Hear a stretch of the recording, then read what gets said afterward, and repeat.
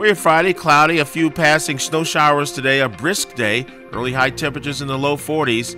Tonight, a couple of snow showers, breezy, cold, low near 27.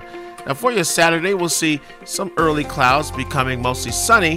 High temperatures Saturday in the mid 30s and mid 40s by Sunday. Follow me on Facebook and Instagram for forecast updates. I'm meteorologist Richard McCollough with your Weatherfield forecast update.